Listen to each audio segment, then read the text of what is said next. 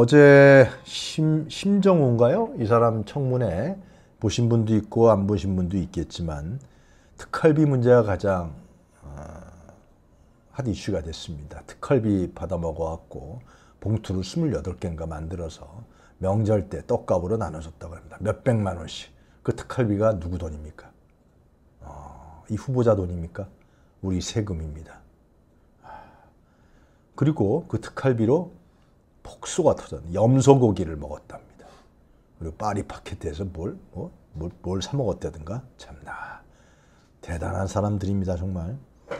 심정우 후보자는 어제 오빠 김진우와 힘은고 동창이 아니라고 아예 딱 잘라 얘기했습니다. 전화 통화 한 적도 없다. 전화번호도 모른다. 나중에 한번 봅시다. 다 드러납니다.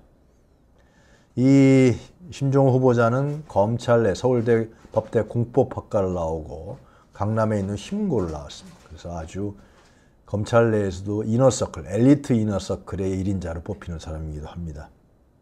법과 원칙을 강조하면서 김건희 조사가 옳았냐 그러니까 답변을 못했습니다. 네. 법과 원칙 그리고 윤석열에게 충성맹세를 안 했다 그랬습니다. 아, 네. 충성맹세 안 했는데 검찰총장이 됐다? 아, 그러면 법과 원칙대로 윤석열 관련 사건, 김건희 관련 사건 제대로 한번 수사해 보세요. 그럼 자기 한동훈 제끼고 말이죠. 차기 대권 후보로 여권의 대권 후보로 나올 수 있습니다. 제가 비법을 알려드립니다. 심우정 후보 검찰총장이 임명되면은 사람에 충성하지 않고 조직에 충성한다고 윤석열한테 한번 얘기하고 한번 제대로 한번 수사해 보세요. 조사해 보세요. 충성맹세 안 했다면서요? 네. 충성맹세 안 한 사람을 검찰총장으로 시켰다. 윤석열과 김건희가 지나가는 소가 지나가는 걔가 웃겠습니다. 네. 아, 슬픈 소식이 어제 있었습니다. 우리 두 살 아이 영아라 그러죠. 한 시간 동안 응급실을 찾다가 지금 뇌 손상이 당해서 의식불명 상태라고 합니다. 지난 4일 날 응급실을 찾다가 응급실에서 다 진료를 거부하다가 결국은 인천 인하대병원에서 받아 주었고 경련이 있었는데 경련은 멈췄지만 지금 뇌 손상 상태라고 합니다. 진짜 가슴이 아프고 안타깝고 우리 아이들 얘기 같습니다. 이 부모들의 심정은 어떻겠습니까, 여러분? 네. 11곳 병원에서 거절했다고 합니다. 일산, 김포, 부천, 의정부, 서울관내 등 대학병원과 권역별 응급의료센터를 전전했다고 합니다. 그런데요, 여러분. 그런데요, 여러분. 네. 2일날 국회 개원식이 있었죠. 윤석열은 불참했습니다. 87년 민주화 이후 처음입니다. 그날 한남동 관저가 아니라 청와대에 있는 상춘제에서 무슨 일이 있었는지 여러분 아십니까? 김건희가 생일 파티를 했습니다. 미국의 상원 의원 부부를 초청해서 먹고 마시고 뭐 한식 메뉴를 준비했다가 뭐 떡볶이도 준비하고 어? 국회 개원식은 참석하지 않고 생일 파티를 했습니다. 아, 진짜. 뭐, 그 사전에 준비한 꽃다발을 상원 의원 부인이 전달을 했고, 다 함께 또 생일 축하 노래까지 불렀다고 합니다. 참 잘합니다. 잘났습니다. 김건희는 제 인생에서 가장 잊지 못할 만큼 감동적인 생일이었다고 합니다. 조금만 기다리십시오. 내년 9월 2일은 감옥에서 당신 생일을 맞게 될 것입니다. 또 검사들 잘 아니까 또 생일 파티 하겠죠. 장시호처럼. 네. 하여튼 간에 검사실에서 하든 밖에서 내년 9월 2일 날 김건희의 생일 파티가 어디서 이루어지는지 우리 함께 지켜봅시다. 또 하나 있습니다. 윤석열의 마트쇼. 민생이 어렵다, 국민이 어렵다, 물가는 올라가고 추석 준비 때문에 힘들다 그러니까 억지로 한번 나갔습니다. 그것도 그 뭐죠? 그파 양파인가? 아 파. 그 문제 생, 생겼던 하나로마트 가갖고 거기 오신 우리 서민들에게 뭐 배 사과 값이 높죠? 내리게 할 겁니다. 무슨 수로 내리게 해요, 차이가? 어? 배 농사 져요? 집에서? 사과 농사 져요? 풀 거예요? 그 가격을 내리면 농민들은 어떡합니까? 배추값이 비싸다. 배추값도 내리겠대요. 배추 장사해요? 윤석열 장모 최은순이 이제는 배추 장사까지 합니까? 무슨 수로 배추값을 내리겠다는 건지 이거를 찍어서 대통령실에서 홍보라고 홍보 영상이라고 홍보 사진이라고 보냈습니다. 경쟁은 경제는 엉망으로 만들어 놓고 국민들은 먹고 살기 힘들게 만들어 놓고서 마트쇼를 또 했습니다. 그것도 하나로 마트 가서. 아마 제 예상에는 추석 다음 주쯤에는 김건희가 전통시장 돌 겁니다. 네. 그 꼬라지를 또 봐야 될 것 같습니다. 뻔뻔해도 이렇게 뻔뻔할 수가 있을까요? 선거로 뽑힌 대통령도 이렇게 행정 독재 권력자가 된다는 것을 우리가 눈앞에 보고 있습니다. 요즘에 거의 대부분 보수층에 있는 사람들도 윤석열 얘기를 못한대요. 윤석열 얘기하면 고개를 돌리고 조용히 있다 그럽니다. 할 얘기가 없죠. 자기들도 이제 피해자가 되니까. 어? 추석 연휴 때 응급실 뺑뺑이 도니까. 자기의 손자와 손녀, 영화가 아프면은 어떻게 할 것입니까? 내 아들, 내 며느리가 아프면 어떡할 것입니까? 내가 당장 교통사고를 당하면 어떡할 것입니까? 응급실 뺑뺑이 돕니다. 그래서 요즘에는 아까도 제가 말씀드렸지만 과거에 우리는 밥 잘 먹었니? 식사했어? 이게 인사였어요. 그죠? 어, 70년도 때 우리 보릿고개도 겪고 막 그랬기 때문에. 근데 이제는 뭡니까? 아프지 않니? 괜찮어? 병원 안 갔어? 이게 인, 서로 간에 상호 인사가 돼버린 세상이 됐습니다. 여러분들 친구들이랑 또 아버지 어머니랑 어, 또 아들과 따님들과 통화하실 때 너 괜찮아? 몸 괜찮아? 나 돌아다니지 마. 조용히 집에 있어. 어? 네. 추석 연휴 때 지지율이 확 떨어질 것입니다. 그건 예상되는 바입니다. 음? 갤럽 조사에서 23%, ARS 조사에서 30%가 무너졌습니다. 자, 지지율이 급락하면 당연히 여권 내에 반란 움직임이 벌어질 것입니다. 이대로 뒀다간 자기네들이 죽거든요. 권력기관에서도 많은 정보가 나올 것입니다. 그리고 공무원들은 바짝 더 엎드리겠죠. 절대로 시키지 않은 일을 안 합니다. 시킨 일 중에서도 자기에게 공이 될 수 있는 것만 할 겁니다. 나라가 엉망이 되고 그리고 레임덕이 아니라 이미 대드덕 형태로 들어갔습니다. 이 2개월 뒤면은 아, 반환점이 된다는 거 아닙니까? 검찰이 물어뜯을 수도 있습니다. 한동훈이가 대선 가기 위해서는 대권 가기 위해서는 제3자 특검법 어떻게 하든지 통과시켜야 되지 않 으면 자기는 유명무실한 존재가 될 것입니다. 여러분 보십시오. 추석 이후에 여론이 여론조사가 어떻게 나오는지 눈여겨 봅시다. 그리고 추석 때 여러분들 친지와 친구들 만나시면 분명하게 얘기해야 됩니다. 여론을 만들어야 됩니다. 우리가 모르는 분들이 많습니다. 아직도.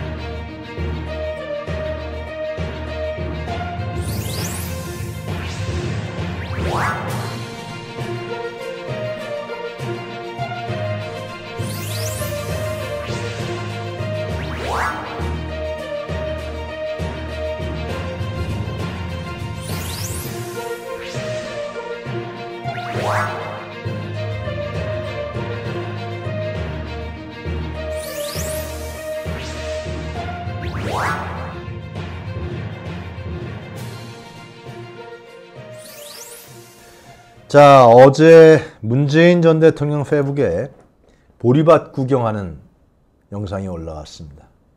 네, 여러분들 이거 어떻게 보십니까? 네. 참 한가합니다.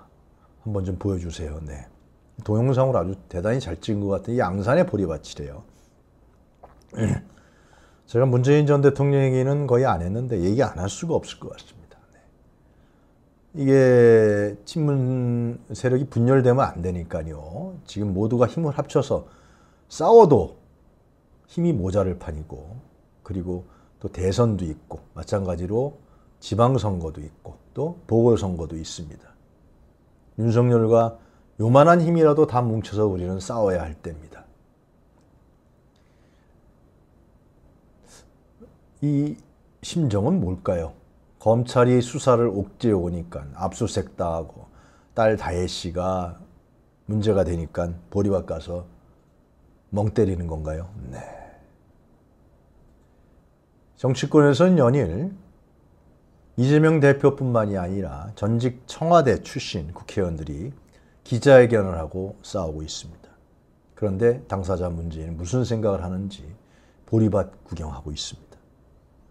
정치 보복이다. 막가파 윤석열이 문재인 전 대통령이 약해지니까 희생양으로 삼으려고 하는 것이다. 여러 가지 해석이 나오고 있습니다. 그리고 건드리는 것이다. 음. 우리가 잘 알고 있습니다만 문재인 전 대통령은 2016년, 17년에 우리의 촛불 항쟁으로 선거를 통해서 단, 탄생한 대통령입니다. 그러나 불행하게도 물론 잘한 일도 상당히 있습니다만 불행하게도 검찰개혁과 언론개혁, 사법개혁을 제대로 하지 못하면서 우리가 이꼬라지를 맞게 됐습니다. 검찰개혁하겠다고 충성을 한 윤석열한테 속아 넘어가서 계속해서 검찰총장을 지키고 그리고 추미애 장관과의 대결 구도에서도 추미애 장관의 손을 들어주지 않았던 문재인 대통령이었습니다. 제대로 개혁하지 못하니까 볼 수 없는 극우 진짜 적폐 반동 세력들이 이 사회의 권력을 잡아버렸습니다. 네. 그들에게 우리는 국민은 포획당해 있습니다. 국민은 고통과 그리고 분노와 안타까움에 신음하고 있습니다. 지금 보리밭 구경할 때가 아니지 않습니까? 자기 자신에게도 지금 검찰 소환 얘기까지 나오고 있습니다. 문재인 대통령은 과거 비서실장 때 그 이후에 노무현 전 대통령을 검찰 수사를 통해서 생명이 아삭한 광경을 목격한 분입니다. 이제는 새로운 미래 사람들 만나서 아무 힘도 없고 원외정당 어, 수박들로 뭉쳐있는 그런 사람들 만나서 한가하게 얘기할 타이밍입니까? 이재명 대표가 8일 날 양산에 간다고 합니다. 이제 그 자리에서 문재인 전 대통령은 이재명 대표와 함께 손을 잡고 윤석열 정권과 싸우겠다는 선언을 해야 됩니다. 제 말이 틀리지 않습니까, 여러분? 국민들에게 내가 검찰개혁 제대로 못해서 윤석열이라는 이상한 사람이 정권을 잡게 됐다. 사과하고. 나는 이제 싸우겠다. 우리 촛불 국민과 시민과 함께 손을 잡고 민주당과 이재명 대표와 함께 최전선에서 싸우겠다는 선언을 해야 됩니다. 그렇지 않습니까, 여러분? 그래야 됩니다. 그래서 함께 싸워 나가야 됩니다. 그래야 이들이 획책하는 계엄 음모 그리고 일본에게 나라를 팔아먹으려 하는 음모 이거 분쇄할 수 있고 우리 국민이 조금이라도 요만큼이라도 마음의 위안을 받고 그리고 힘을 얻게 됩니다. 흔히 정치권에서 얘기하는 친명, 친문 세력이 함께 한다 그러면 수박으로 나간 사람은 뭐 제하더라도요. 나간 사람들도 문재인 대통령이 한마디 한다 그러면 달라질 것입니다. 그렇게 해서 모두가 힘을 합쳐서 일단은 윤석열 대통령 끌어내리는데 해야 됩니다. 보수층도 마찬가지로 얘기할 수 있는 보수층도 함께 힘을 합쳐야 됩니다. 그래야 그래야 윤석열 대통령이 더 이상 우리 역사를 거꾸로 돌리고 우리 국민의 삶을 파괴하고 저들의 특권층들의 이해만 대변하는 것을 막아낼 수가 있는 것입니다. 이것이 바로 촛불 정신이고 우리가 2016년도 17년도에 그 매일 주말에 촛불을 들고 광화문에 직결했던 이유기도 하고 우리의 역사입니다. 네. 개인의 선비적 삶은 그만두십시오. 어차피 문재인 전 대통령 당시는 정치인입니다. 그리고 전직 대통령이었습니다. 그리고 국민과 역사 앞에 책임을 갖고 있습니다. 이제 그 정치적 삶을 향해 나아가시기 바랍니다. 8일날 이재명 대표와 만나서 굳은 약속과 선언을 해주기를 간곡하게 부탁합니다. 자, 9월 6일인가 7일에 기시다가 방한합니다. 왜 방한할까요? 독도를 가져가려고 방한할까요? 그래서 한번 제가 한번 알아봤습니다. 첫 번째는 기시다가 지금 이제 9월 27일까지가 아, 총리 임기래요. 일본 언론에서 얘기하는 것은 왜 한국을 방문해서 윤석열을 만나느냐. 이것은 뭐 유엔 총회가 있는데 여기에 윤석열 대통령이 유엔 총회 안 가는 모양이에요. 그래서 못 만나니까 바이든은 만나는데 윤석열은 못 만나니까 방한하는 것이다. 이렇게 포장을 하고 있는데 그 숨은 뜻을 좀 알아볼 필요가 있는 것 같습니다. 그건 간단합니다.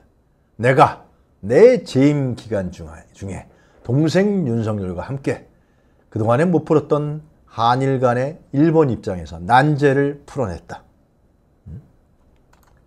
난제를 풀어냈다. 강제징용 문제도 그렇고, 어? 그리고 또 걸려있던 여러 가지 문제들을 해결했다. 라는 것을 이제 자신의 공과와 자랑하려고 하는 거죠. 누구에게요? 일본 국민에게. 그리고 일본 정치인들에게. 그러면서 차기 총리에게 영향력을 행사하기 위해서 방안을 합니다. 그 재물이 또 누굽니까? 윤석열인 것이죠. 나의 동생, 나의 부하. 이렇게 내가 열심히 잘했어. 그러니까 차기 총리가 선출되더라도 내 말을 잘 들어야 돼. 그런 영향력을 발휘하기 위해서 방한한다는 설이 유력합니다. 그것은 일본 내부 문제이기도 하죠. 그 다음에 내년에 이제 한일 수교 50주년 되잖아요. 이것을 향해서 나아가자. 그 토대를 만들어내자. 그래서 가장 중요한 것은 한일 군사 동맹인 것입니다. 지금은 저항이 있으니까 한일 군사 동맹을 하지 못하지만 물론 원하는 사람이 있죠. 일본의 밀정이라고 불리고 있는 대통령실의 김태효. 그 길을 많이 닦아놓고 있는 구한말의 송병준과 등치되는 사람 중에 한 명인데 하여튼 간에 한일 군사동맹을 만들어내겠다. 그 밑자락을 깔겠다는 것이 방안의 주요한 목적일 것이고 그러나 알려지지 않은 사실이 또 하나 있습니다. 한국과 일본의 노비자 협정을 만들겠다고 이 얘기는 나왔었는데 비자 없이 한국과 일본이 왔다 갔다 할 수 있는 이 협정을 하겠다고 합니다. 그런데요. 이것은요. 우리가 마치 그것은 뭐 관광 산업을 활성화시킬 수 있다라고 우리에게 보여질 수도 있지만 지금의 일본 평화 헌법을 고쳐서 자유대 를 자위대 그러니까 그것이 일본만 방어하는 것이 아니라 공격할 수 있다. 전쟁을 할 수 있는 부대로 만든다는 얘기가 또 나오고 있습니다. 독도도 그 일환 중에 하나인 것이죠. 일본의 목표 중에 하나입니다. 노비자 협정을 맺어서 일본의 밀정들이 스파이들이 자유롭게 드나들 수 있고 한국에서 암약할 수 있다라는 가능성이 제기되고 있습니다. 이것은 역사적인 사실입니다. 일본은 어떻게 하든지 한국을 군사적으로 지배하고 군사적으로 부분적이라도 점령하려 하는 것이 일본의 계획입니다. 여러분, 구한말에 일본의 낭인들, 일본의 밀정들, 스파이들이 엄청나게 들어왔습니다. 한반도에. 명성황후를 시해한 사건도 일본의 낭인들, 일본의 스파이들이 한 것입니다. 그리고 상인을 가장해서 들어와서 우리 조선의 상권을 다 뺏어버리고 그리고 그 정보를 취득해서 일본 본국에 보고해서 일본 침략이 어떻게 이루어지면 된다 라는 것을 다 보고했던 것이 바로 일본의 밀정들이었고 스파이들이었습니다. 그래서 백범 김구 선생이 우연히 만났던 일본의 낭인을 두드려 패지 않습니까? 두드려 패서 사망시킵니다. 물론 백범 김구 선생은 그 사람이 명성황후를 시해한 사람이라고 오인했지만 그렇게 일본에 스파이와 밀정이 많았던 것입니다. 그래서 우려되는 것은 한미 간의 비자 협정이 아니라 한일 간의 노비자 협정을 통해서 일본의 모든 기관원들과 정보원들이 위장해서 들어와서 일본이 한국을 군사적으로, 실효적으로 지배할 수 있는 정보와 길을 닦는 역할을 할 수가 있다는 것이 지금 학계에서 나오는 우려사항 중에 하나입니다. 네, 그것도 오케이 하겠죠? 네. 언제든지 들어오세요.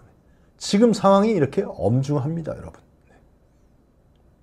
굉장히 엄중한 상황입니다. 그리고 그 가운데 윤석열 대통령과 윤석열 정권이 있는 것입니다.